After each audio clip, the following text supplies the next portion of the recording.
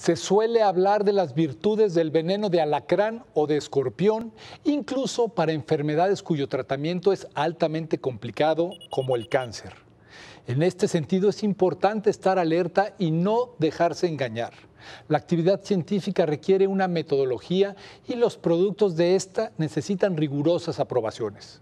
Muchas veces este ciclo comienza en instalaciones que pueden sonarnos exóticas como una granja de escorpiones.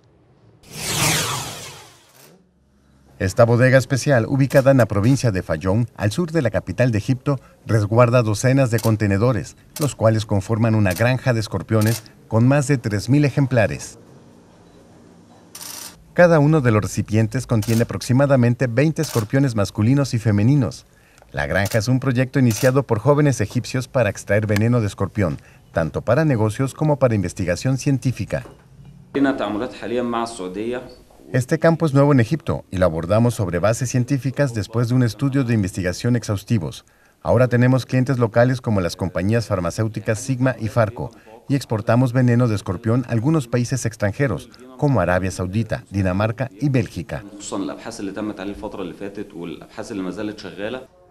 La granja de escorpiones en Fayón es una de las pocas que pertenecen a Cairo Venom, una compañía con sede en el Cairo que inició el negocio en 2015 con 100 escorpiones y ahora cuenta con alrededor de 60 mil.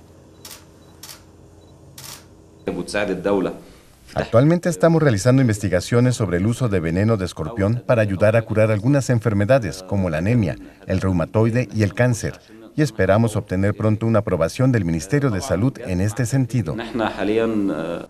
Los tipos especiales de escorpión se regresan a sus ambientes naturales para ser cazados nuevamente años más tarde, mientras que los comunes y numerosos se hacen en polvo para usar la fabricación de productos médicos o cosméticos.